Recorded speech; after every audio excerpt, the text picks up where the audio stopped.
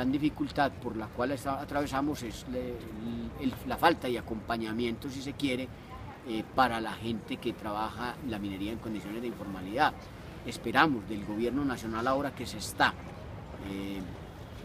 reglamentando la ley 1753 en lo que tiene que ver con el artículo 21 y la clasificación de la minería, que podamos obtener por lo menos este apoyo y este acompañamiento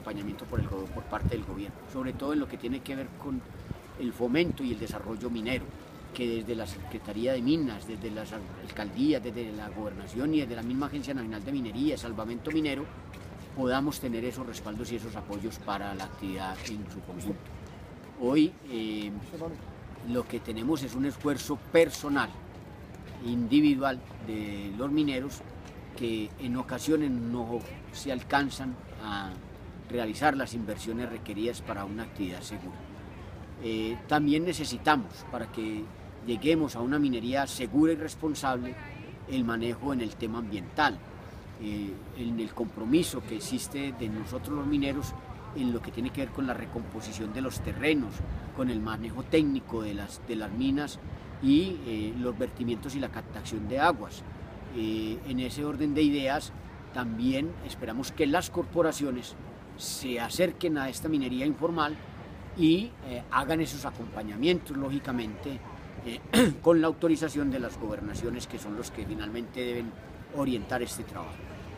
Eh, tenemos experiencias muy importantes y quisiera resaltarla, por ejemplo, en el Bajo Cauca en, cuanto a reconformación y recomposición de terrenos, donde lo que decían antier o hace unos años iba a ser un desierto, hoy son verdaderos bosques porque se ha demostrado que es posible recuperar los territorios eh, que han sido trabajados con minería y ya en, materia paisajística la recomposición en zonas, por ejemplo, eh, que tiene que ver con el, acopio, el almacenamiento de materiales estériles o que han sido residuos de minería, se les dé un tratamiento mucho mejor. Eso ya también en gran parte de la minería informal lo viene realizando en las zonas de explotación. Yo creo que Amagá nos puede dar un reflejo de eso todavía Magá es un municipio verde, Aquelópolis es un municipio verde, lo que quiere decir que hay un nivel de conciencia en, los empresarios mineros, en los pequeños empresarios mineros, de eh, contribuir en, ese respeto por el medio ambiente y en desarrollar una actividad, una actividad minera eh, de manera mucho más responsable con ellos. Estamos cambiando para que las comunidades también estén con nosotros y cambien su actitud con la minería en Colombia les recuerdo una cosa, finalmente, todo, absolutamente todo lo que nos rodea tiene que ver con la minería. Sepamos a qué minería es la que debemos atacar. Nuestra minería, realizada por pequeños y medianos mineros, no es mala.